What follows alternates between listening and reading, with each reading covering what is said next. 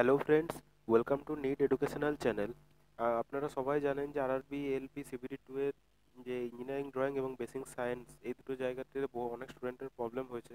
বিশেষ করে যারা ফিজিক্স কেমিস্ট্রি ব্যাকগ্রাউন্ড থেকে আছেন টেকনিক্যাল ব্যাকগ্রাউন্ড থেকে নয়, তাদের ক্ষেত্রে দুটো সাবজেক্ট একদমই অনেকটা আননোন তো তার জন্য আমি একটি এলপি ক্র্যাশ কোর্সের ভিডিও চালু করেছিলাম। আমি চারটে ভিডিও অলরেডি দেওয়া হয়ে গেছে ড্রয়িংয়ের তো সেখানে তার পরবর্তীকালে কিছু অসুবিধার জন্য ভিডিও আপলোড করা হয়নি। তো আজ থেকে ভিডিও আপলোড করা আবার কন্টিনিউ করা হলো। রোজ এই টাইমে আপনাদের ভিডিওটি আপলোড করা হবে। তো সবারই কাছে রিকোয়েস্ট যারা এলপি সিবিটি টু পরীক্ষা দিচ্ছেন তারা এই চ্যানেলের সঙ্গে থাকুন। রোজ একটি পাঁচ থেকে দশ মিনিটের একটি ভিডিও আপনাদের আপলোড করা হবে। এখানে কোনো একমাত্র আপনাদের কাজের যেটুকু দরকার, সেইটুকু জায়গাটি অত্যন্ত ডিটেলের সঙ্গে ড্রয়িং করে আপনাদেরকে ডিটেলসে বুঝিয়ে দেওয়া হবে। খুব শর্ট টাইমের মধ্যে ভিডিও অযথা লেন্দি কোনো ভিডিও নয়। আশা করি ভিডিওটি প্রত্যেকটি ভিডিও আপনাদের জন্য হেল্পফুল হবে। চলুন বন্ধুরা, আজকের ক্লাসটি স্টার্ট করা যাক। আজ আমরা আইসোমেট্রিক ক্লাসের যে প্রথম ভিডিও সেটি আজকে এখান থেকে স্টার্ট করছি। তো এর প্রথম যে আমরা প্রজেকশনের ক্লাসটি শুরু করব, তো প্রজেকশন বেসিক্যালি যেটা থেকে আমাদের স্টার্ট করতে সেটা হচ্ছে ড্রয়িংয়ে যেটা আমরা এক্সপ্রেস করি, সেটাকে আমরা অ্যাকচুয়ালি পিকটোরিয়াল ড্রয়িং বলি মানে পিকচারের মাধ্যমে ড্রয়িংটাকে আমাদের এক্সপ্রেস করানো হয়। এই পিকটোরিয়াল ড্রয়িংয়ের তিনটে পার্ট থাকে টোটাল একটা হচ্ছে আপনাদের আইসোমেট্রিক ড্রয়িং একটা হচ্ছে আপনাদের অবলিক ড্রয়িং এবং আরেকটা হচ্ছে আপনাদের পার্সপেক্টিভ ড্রয়িং এই তিনটে ড্রয়িং আছে তার মধ্যে আপনাদের এলপিতে শুধুমাত্র আইসোমেট্রিক ড্রয়িং নিয়ে বেশি ডিসকাস করা আছে। তো আইসোমেট্রিক ড্রয়িং নিয়ে আপনি আপনাদের সঙ্গে একটু ডিসকাস করব। আইসোমেট্রিক ড্রয়িং নিয়ে মেন যেটা আপনাদের ধ্যান রাখতে হবে সেটা হচ্ছে প্রধানত তিনটে প্রিন্সিপাল অ্যাক্সিস থাকে এইভাবে। তিনটে প্রিন্সিপাল অ্যাক্সিস পরস্পরের সঙ্গে একশো কুড়ি ডিগ্রি কোণ করে থাকে। আপনারা এখানে দেখতে পাবেন যে কোনো পিকচারে আপনাদের হবে, তিনটে অ্যাক্সিসের মধ্যে বেস করেই হবে। এবার আমি একটা আপনাদের একটা আইসোমেট্রিক ড্রয়িংয়ের একটা এক্সাম্পল দিচ্ছি, একটা ড্রয়িং আঁকছি। এতে আপনাদের বুঝতে সুবিধা হবে কেমন আইসোমেট্রিক একটি ড্রয়িং হয়।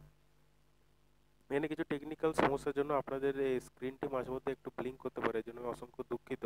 নেক্সট ভিডিওতে এই প্রবলেমটি আশা করি সলভ হয়ে যাবে। তো যাই হোক, তো চলুন আপনাদের এখানে, প্রথম হচ্ছে আমরা এখানে একটা আইসোমেট্রিক পিকচার ড্র করছি। এর মতো মতো অনেকে হয়তো দেখে থাকবেন এই পিকচারটি যারা টেকনিক্যাল লাইনের সঙ্গে আছেন, যারা পিসিএম আছেন, তাদেরকে পিকচারটা একটা জাস্ট সাইড থেকে একটা ভিউ এটা একটা আইসোমেট্রিক ভিউ এছাড়া আরেকটা ভিউ আমি আপনাদের সঙ্গে ডিসকাস করব, যেটা এবারে সিলেবাসে আছে, সেটা হচ্ছে অর্থোগ্রাফিক ভিউ মানে এই ভিউটাই আমি দুটো ভাগ, একটা টপ ভিউ এবং একটা সাইড ভিউতে দেখলে কী হবে? উপর থেকে দেখলে অর্থাৎ যেটা টপ ভিউ তো উপর থেকে দেখলে আপনারা এইভাবে দেখতে পাবেন। এবং যদি আমরা সাইড থেকে দেখি পিকচারটাকে তাহলে আমরা কিন্তু যেভাবে দু নম্বরভাবে আঁকছি এইভাবে আমরা দেখতে পাবো। তো এরপর আমরা ডিসকাস করব অর্থোগ্রাফিক নিয়ে, এটা ছিল আইসোমেট্রিক এরপর আমরা যেটা ডিসকাস করব, সেটা হচ্ছে অর্থোগ্রাফিক ভিউ আইসোমেট্রিক ভিউ হলো এবার হচ্ছে অর্থোগ্রাফিক ভিউ তো অর্থোগ্রাফিক ভিউটা শুরু করার আগে আমি আপনাদের আইসোমেট্রিক আরও কতগুলো ডিটেলস একটু দিতে চাইব। তো আগে আইসোমেট্রিক আরও কতগুলো ডিটেলস আপনাদের দিয়ে দিই। আইসোমেট্রিক ক্ষেত্রে যেটা মনে হচ্ছে আপনার প্রথমে তো আমি আপনাদের বললামই যে জিনিসটা, সেটা হচ্ছে এই যে অ্যাক্সিসগুলো আপনারা দেখতে পাচ্ছেন, ওটাতে একশো কুড়ি ডিগ্রি থাকেই সেটা হরাইজন্টালের সঙ্গে থার্টি ডিগ্রি কোণ করে থাকে।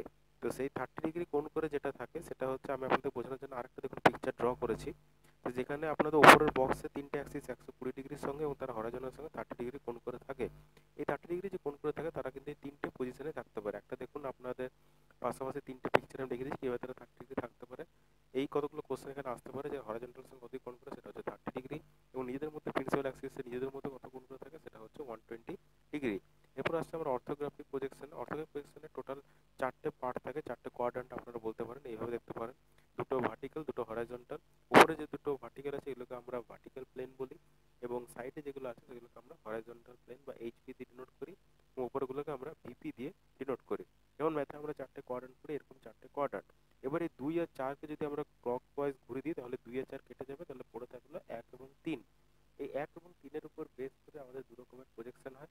একটা হচ্ছে ফার্স্ট অ্যাঙ্গেল প্রজেকশন এবং আরেকটা হচ্ছে থার্ড অ্যাঙ্গেল প্রজেকশন তো প্রথমে আমরা ফার্স্ট অ্যাঙ্গেল প্রজেকশনটা নিয়ে ডিসকাস করব। ফার্স্ট অ্যাঙ্গেল প্রজেকশনটা আপনাদেরকে একটা পিকচার ড্র করলে, আশা করি আপনাদের ক্ষেত্রে এটা বুঝতে সুবিধা হবে। তো ফার্স্ট অ্যাঙ্গেল প্রজেকশনের ক্ষেত্রে আপনারা হেডিংটা দিন আশা করছি আপনারা সবাই এর নোটসটাও বানিয়ে নিচ্ছেন। নোটসটা বানালে আপনাদের ক্ষেত্রে অনেক সুবিধা হবে। তো ফার্স্ট অ্যাঙ্গেল প্রজেকশন ড্র করার জন্য প্রথমে আমরা একটা অবজেক্টকে নেব, যে যেটার আমরা প্রজেকশন করব।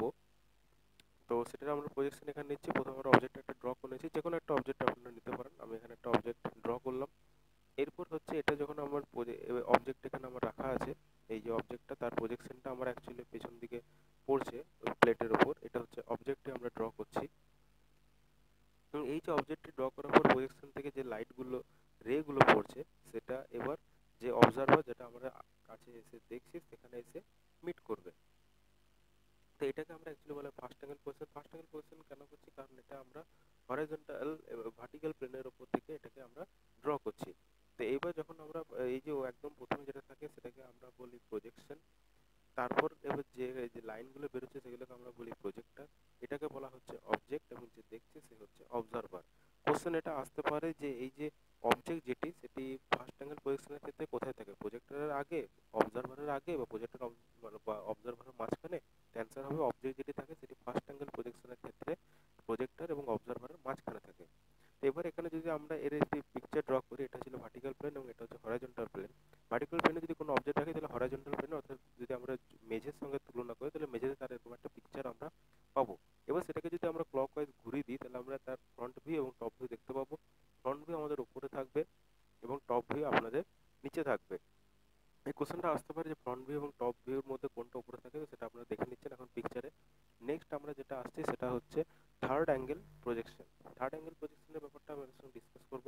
থার্ড অ্যাঙ্গেল প্রজেকশনের ক্ষেত্রে আপনাদের যেটা হচ্ছে, সেটাকে পিকচার ড্র করে আগে অবজেক্টটা সামনে রাখা ছিল, এখানে আমরা কি করব? অবজেক্টটাকে পেছনে রাখব। এই দেখুন আমরা যে অবজেক্টটা পেছনে রাখছি। এবার অবজেক্টটা যদি আমরা পেছনে রাখি, তাহলে তার ইমেজটা কোথায় হবে? তাহলে ইমেজটা তার, এখানে আমি কালার চেঞ্জ করে ড্র করলাম। তাহলে ইমেজটা এখানে এই প্লেনে যেটা আমাদের ভার্টিক্যাল প্লেন সেখানে এসে ফর্ম হবে এবং সেখান থেকে যে রেগুলো বেরোচ্ছে, সেই রেগুলো একটা অবজারভারের চোখের কাছে এসে মিট করে যাবে। তো এখানে যেটা আমরা ওয়াচ করব? তো এখানে আমরা দেখব কিন্তু অবজেক্ট যেটি আছে সেটি কিন্তু পেছনে আছে, মাঝখানে আমাদের প্রজেকশন আছে এবং লাস্টে কিন্তু অবজারভার আছে তো ফার্স্ট অ্যাঙ্গেলে যেটা হচ্ছিল আমাদের অবজেক্ট পেছনে ছিল তো এটাই ছিল আমাদের মানে আইসোমেট্রিক প্রজেকশনের আজকের এটি সব কিছু শর্টে বোঝানোর জন্য মেন তো এটাই ছিল আজকে আপনাদের প্রজেকশনের প্রথম ক্লাস প্রজেকশনের আরও কয়েকটি ক্লাস আমি ভিডিও আমি রোজই আপলোড করব। খুব কম সময়ের মধ্যে আপনাদের ডিটেলসে সব কিছু বুঝিয়ে দেওয়া হবে। আপনারা আমার হোয়াটসঅ্যাপ গ্রুপে জয়েন করতে পারেন। আমি স্পেশালি আপনাদের জন্য চালু করেছি, যেখানে রোজ এমসিকিউ আমি ডিসকাস করব। কোনো দিন কারেন্ট অ্যাফেয়ার্স কোনো দিন সায়েন্সের ওপর। প্রতিদিন এটি রাত নটার সময় ডিসকাস করা হবে। লিঙ্ক ডিসক্রিপশন বক্সে দেওয়া আছে। আপনারা ক্লিক করে হোয়াটসঅ্যাপ গ্রুপে জয়েন হতে পারেন। আশা করছি এই ভিডিওগুলি এবং এর পরের ভিডিওগুলি আপনাদের জন্য হেল্পফুল হবে।